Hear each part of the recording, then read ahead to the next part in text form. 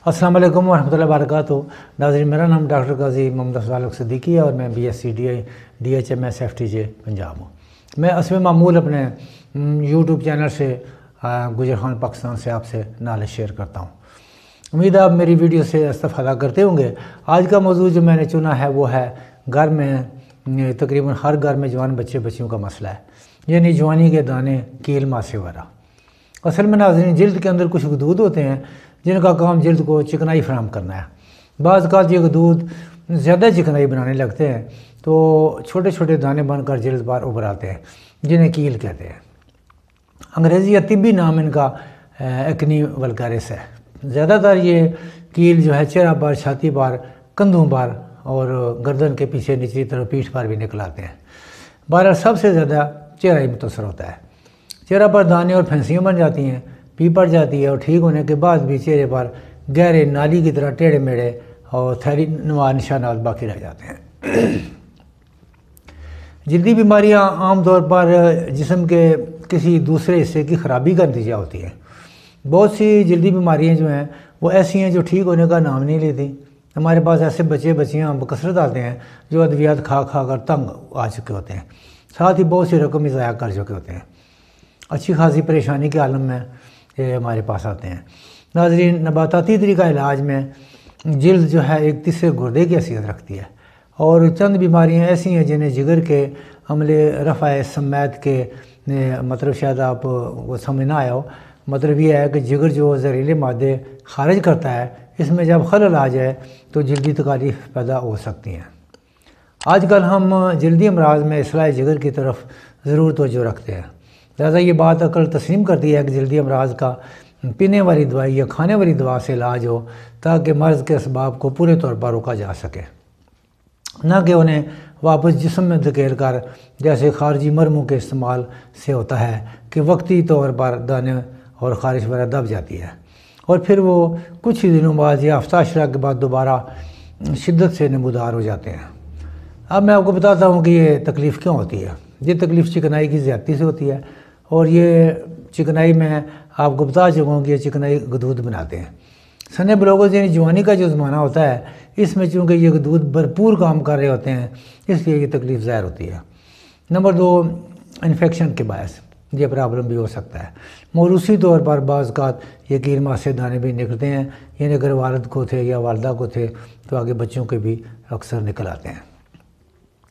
बाज़ात किसी दवाई के साइड इफ़ेक्ट के तौर पर भी दाने निकल आते हैं। नंबर चार, हैज़ के दौरान और हाजमा की ख़राबियों से भी हारमोन का निज़ाम मुतासर होता है। जल्दी अमराज में दाग, दबे शाइयाँ कील कीलमा से अगर ये बज़ाहिर ज़्यादा तकलीफ़ दे नहीं होते, लेकिन इससे चेहरा की खूबसूरती शदीद मुतासर होती इस तकलीफ़ से न सिर्फ़ चेहरे का उसन जमाल मुतासर होता है बल्कि इन बदनमा दानों और दागों की वजह से तमाम खूबसूरती और रुबाई जो है वो ख़त्म हो जाती है। अब नाजरीन आते हैं इलाज की तरफ़ और एहतियात की तरफ़। सबसे पहली बात यह है कि पानी ज़्यादा पिएँ, चटपटी चीज़ों से परहेज़ करें या बहुत कम कर दें। इसी तरह तली हुई चीज़ें जैसे पकौड़े, समोसे, कबाब वगैरह बहुत कम कर दें और फल और सब्ज़ियाँ और सलाद का बकसरत इस्तेमाल करें। सब्ज़ पत्ती वाली वाली जो सब्ज़ियाँ हैं वो खूब खाएँ। मुनासब वर्जिश या वाक करें। खुराक में तब्दीली लाना बहुत ज़रूरी है। इलाज में आज आपको एक जर्मन दवाई का तारफ़ कराऊँगा, जिसका नाम है पी के ट्वेंटी टू ये पैखाना कंपनी ने बनाए हैं। इनका नाम पी के ट्वेंटी टू है और ऊपर दूसरा नाम लिखा हुआ है Dercut drops. D E R C U T Dercut drops. ये सोजिश को कम करते हैं। और जहरीले मादों को जिसम से खारिज करते हैं और टिशू को मज़बूत बनाते हैं। इस तरह इस बात के वसी इम्कान हैं कि यह दवा चेहरे के कील, मासे, दाग, दबे मुकम्मल तौर पर ख़त्म करेगी। इन कतरों में cistus canadensis, hydrocotyle, mezereum ranunculus bulb sarsaparilla ledum और वायोला जैसी अद्वियात मौजूद हैं। और ये अद्वियात खून को साफ़ करने के लिए मानी हुई अद्वियात हैं। तो हालत के खौफ से मैं हर दवाई की अलग अलग तफसील बयान नहीं करूँगा।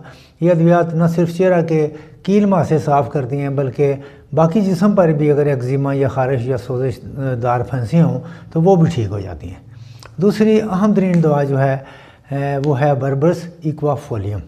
ये दवा कील फंसियों और चेहरे के धब्बों को, अच्छाइयों को ख़त्म करके चेहरे के नकूश को रोशन करती है।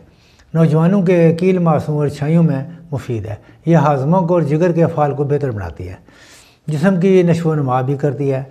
इस दवा के दस कतरे तीन चार मरतबा आधी पैरी पानी में गिन कर डालें और पी लें।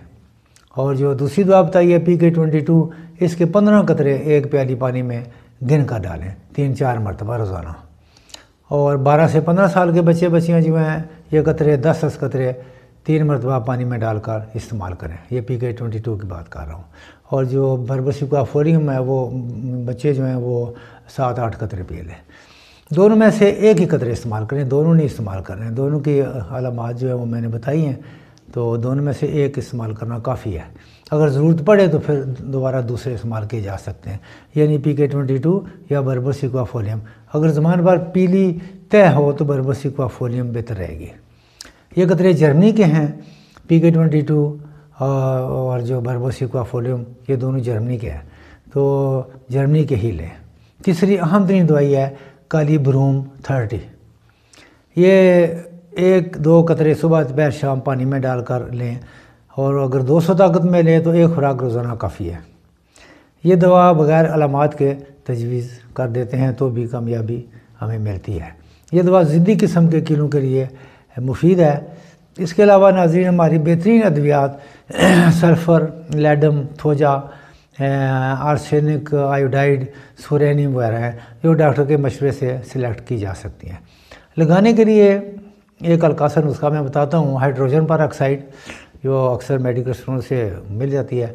तो हाइड्रोजन पर ऑक्साइड आधा अंश, अर्के गुलाब दो अंश और ग्लेसरीन आधा अंश। ये आप उसमें मिक्स कर लें और ये दोनों पर लगाएँ। सिर्फ़ जहाँ दाने हैं, वहाँ पर लगाए, दाने, दानों को इंशाल्लाह चंद दिनों में ठीक हो जाएँगे। और बाकी अंदरूनी तौर पे दवाई खाना जो है बहुत ज़रूरी है। इसके अलावा एक और छोटा सा नुस्खा है, अक्सर ख़वान जानती भी है तो मैं दोबारा रिवाइज़ कर देता हूँ। अर्के गुलाब और ग्लेसरीन और लेमन का जो निचोड़ कर पानी निकालते हैं। ये तीनों बराबर वज़न में मिला लें और रोज़ाना रात को पूरे चेहरे पे लगाया जा सकता है। इससे चेहरे में निखार आता है, दाने भी ख़त्म होते हैं, चेहरा साफ़ होता है। तो पूरे चेहरे पर ये लगाया जा सकता है। उम्मीद है नाजीन चेहरे की खूबसूरती के हवाले से आपको आज का प्रोग्राम पसंद आया होगा और आपके इल्म इजाफ़ा हुआ होगा। अल्लाह ताला आपको हर दुख दर से, मर से और कर से अल्लाह ताला मुफी, अल्लाह ताला माफ़ रखें। तो उम्मीद है कि आप वीडियो लाइक, सब्सक्राइब और शेयर करेंगे। सब्सक्राइब इसलिए करें कि ताकि आइंदा जो ही मेरी वीडियो बने आप तक फ़ौरन पहुँच जाए। अल्लाह ताला आपका हमें नसर हो। मुझे दो में याद रखें। पाकिस्तान जिंदाबाद।